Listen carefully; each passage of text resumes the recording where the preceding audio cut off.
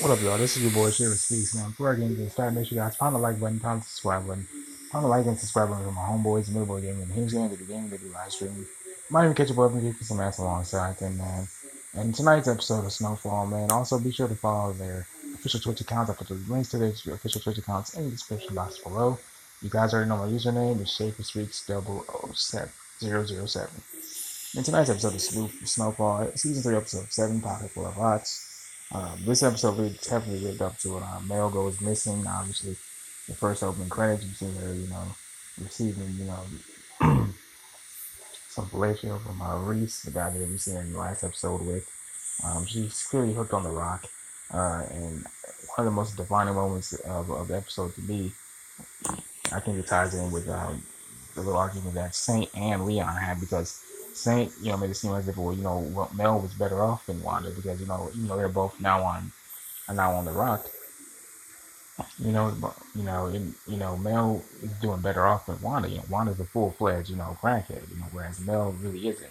You know, we of course Leon have still have love for Wanda. You know, to the fence that, so they had a bit of a um, quarrel with that, but they they patched it up. But I can tell, you know, when Franklin finds Mel in a crack den, you know, and having to literally force her into the car it really breaks him because now he has to come comes to the comes to the grips and comes to accept the fact that you know the woman that he fell in love with is no longer there. You know, now I do have faith that Mel will be going to rehab and make get herself together, but you know, judging by from the scenes of uh, next week's episode, and basically what, what Louie told Franklin, you gotta accept the fact that she's gone, baby. You know, he's, she's no, she's not there anymore. You know, and then tons of other stuff happening. You know, a lot of gunshots. You know, we hear Reggie going after Franklin. You know, we see Franklin running for his life, and he stops almost to see if he sees like a dead body of someone he really cares about. You know, and um, in this episode, for the most part, man, we just saw um, Teddy and Julia finally realizing, hey, we can get out of this. You know, and uh, Julia, from the previous or next week's episode, for the most part, hedgehogs. Um, she, you know, basically made a deal with, you know, the higher ups, so then that way Teddy wouldn't get hurt. You know, for the most part, and you know, the whole trip with Mel, you know, she smoking took smoking rock with Wanda with Wanda just for them to bond. Only come to find out Wanda was just all for herself. She's all about the rock, you know. She she literally hit Mel in the face at her job with the skate while they were high as fuck skating, smoking on rock. You know, in order order to just um order just to get you know the rock forward. You know, I'm sorry, that's thunder and lightning. I, I thought it was like some gunshots or whatever.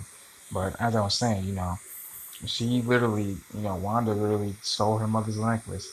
You know, and the same guys that Franklin and Leon, you know, pressed up to get information on Mel, you know, so they didn't see her. But, you know, it took a little persuasion, you know, when they found out where she was.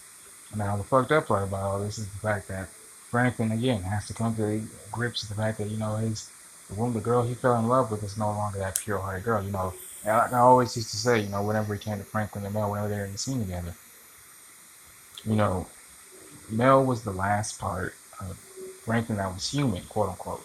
You know, he was the last part that was a reflection of who he was before he started selling dope and things like that.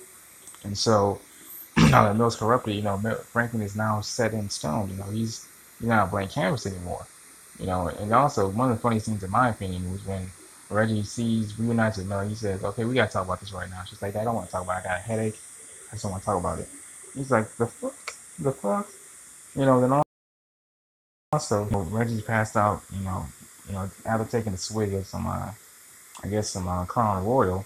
You know, looking for Mel. You know, just thinking that you know, just before Mel disappeared, and you know, he's, he has a dream that her that she's having sex with Franklin in her bed and Franklin just twiddling his gun around on his finger. I thought it was kind of funny. But, you know, that's what I got for you guys tonight. I apologize for the late review. Some love.